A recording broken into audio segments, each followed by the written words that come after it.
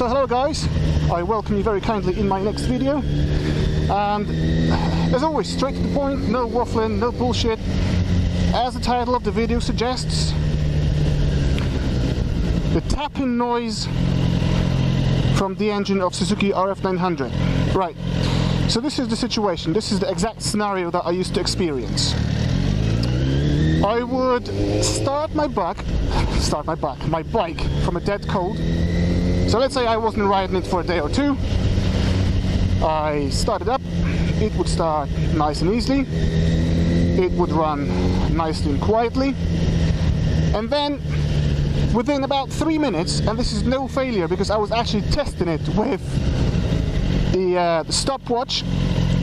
Within three minutes from the time when I pushed the start button, it would start tapping. It was like a very audible, annoying tapping sound, and it was always coming from this area around here. So it seemed to me it's coming from somewhere from the right of the motorcycle. All right, you see, these fellas are just. Uh... All right. Yeah, this is what happens when you've got RF900, bro. Everybody loves you. So anyway, going back to the subject. Um, it will be a very strange tapping noise.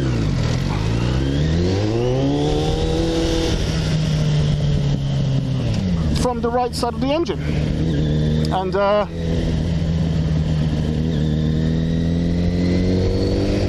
and it used to freak me out. You see, this is my second RF900 and the one I had before was also the 1994 model, and it developed exactly same issue.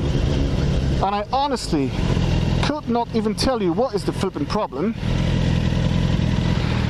But it just freaked me out. So I thought, you know, it's been lasting for over a year, and people were telling me, oh, that's just what they have, you know, those older, like, mid 90s bikes, that's what they have, don't worry about it. But because I thought I'm going to be keeping this bike for longer, I thought I need to sort this out. You know, I love this bike. So, and the funny thing about it was, you know, a few minutes after it started tapping, the tapping would eventually go away. So this is why I was still riding it for about a year. Because I thought, well, if the noise quiets down, obviously it can't be anything serious. But eventually I thought, you know, I'm keeping the bike for longer, I, I need to sort this out. And so, I went to my Pally garage in Bristol, I told them what bothers me, and they said, right, this is going to be one of three issues, they said. It's going to be, well, four issues really. They said it's going to be the valve gaps, uh, which I thought is going to be the most likely uh, scenario because I, have never done it in any of my bikes, so God knows when they've been cleared. The second option, they said, it could be your cam chain, cam tensioner combo. You know, and this bike has uh, slightly over 30,000 miles, which would suggest it might be actually getting a bit noisy. And the third scenario, highly unlikely scenario, they said it might be the carburation issue. Uh, but I precluded that option because with carburation issue, you would have tons of other problems. And this bike seems to be running really smooth, nice, it doesn't hesitate. So I don't think it was the carbs. So anyway, they said, we'll take it for between two and three weeks and we'll sort the problem out. So I apologize for not posting any videos for some time, but this is why I couldn't I couldn't post them because I had no bike. So anyway, um, here by the way you've got a video sample uh, showing you what was I what, what I was experiencing it's not the best quality video, but I think you can actually figure out what the tapping noise was. I can hear it, you might not, but if you really listen carefully, you will. So there's the video for you.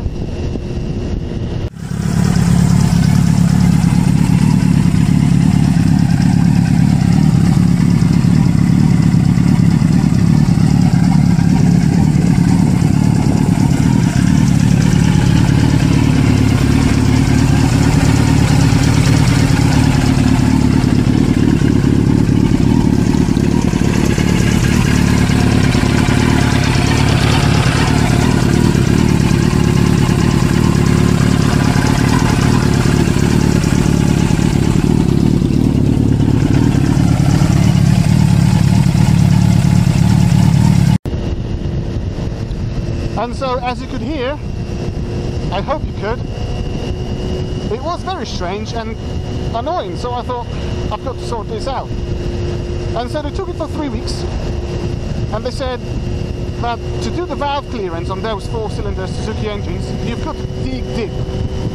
So I thought, you know, if I'm paying 200 quid labor cost for doing all that operation, I might as well pay 100 quid more and just have my cam chain and cam chain tensioner replaced. And this is what I did. Uh, so all in all, I paid 450 quid. And that included new cam chain tensioner, which was OEM Suzuki product, uh, new cam chain, high quality DID product, uh, and valve clearance with new shims. And this is a nasty job because you've got to take the bike pretty much all apart. So I couldn't do it myself because I've never done before. I don't even know how to approach this subject. And uh, you know, they kept it for three weeks because they're very busy with other bikes. But eventually it's all sorted and let me tell you.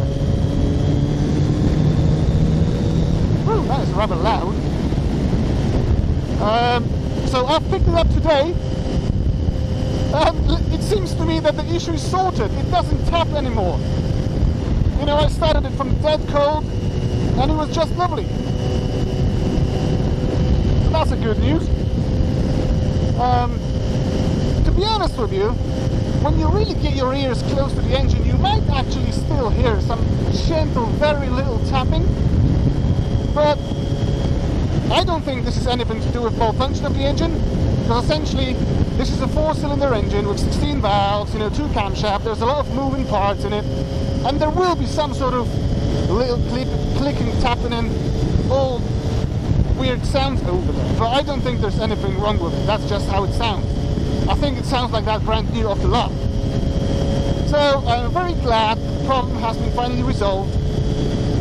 And so if you hear anything similar in your RF900 or any other Suzuki four-cylinder motorcycle, most likely that's what the problem is. It's your valve gaps or simply your uh, cam chain being a bit noisy. Uh, and the funny thing is, this is my second Suzuki RF900. And uh, both as the last one, sorry, uh, same as the last one, that's also 1994 model. And the one I had before used to do exactly the same thing. And the one I had before also had around 30,000 miles. So I guess that's just normal thing. You've got to do your maintenance and servicing and then it's going to be all good.